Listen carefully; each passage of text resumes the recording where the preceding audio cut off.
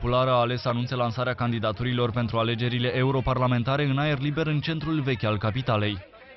Semnalul nostru este că vrem să fim un partid diferit, că facem politică diferit, că sunt în clasa politică și politicieni de bună credință și că este momentul ca toți aceștia să se unească într-un singur loc, alături de noi. Este momentul să vină toți oamenii care vor să schimbe România și care n-au găsit până acum echipa căreia să îi se alăture. Și cred că în felul acesta, începând cu uh, noiembrie 2014, România va avea o șansă să continue uh, reformele, modernizarea României începute în vremea, în mandatele lui Traian Băsescu. În general, partidele își lansează candidații acolo unde se făceau congresele Partidului Comunist uh, Român, în sala Palatului. Iată, după unii, veți mai vedea și pe alții.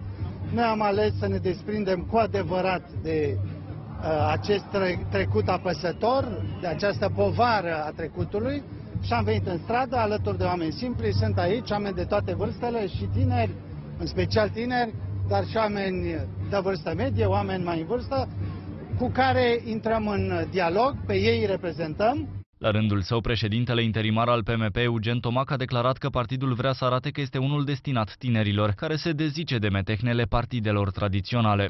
Suntem un partid al tinerilor, știm că tinerii nu trec pragul sediilor de partide, știm că tinerii nu vor să participe la așezători politice, am venit astăzi aici tocmai pentru a le da acest semnal că se poate face politică și altfel. Eu sunt un om extrem de împlinit pentru că soția mea nu se regăsește pe listele Partidului Mișcarea Populară. Voi merge cu toată convingerea pentru a ne susține echipa.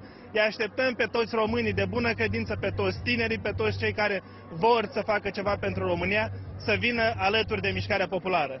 După evenimentul de lansare a candidaților, membrii PMP s-au mutat pe o terasă a centrului istoric. Vom avea și o prezentare a programului și a propunerilor cu care venim pentru Parlamentul European. Va fi o dezbatere, dar la fel neconvențională. Următoarea ieșire. Păi mâine plecăm în nord, plecăm în, la, în Maramureș, la Baia Mare, plecăm în Satul Mare și apoi în Sălaj.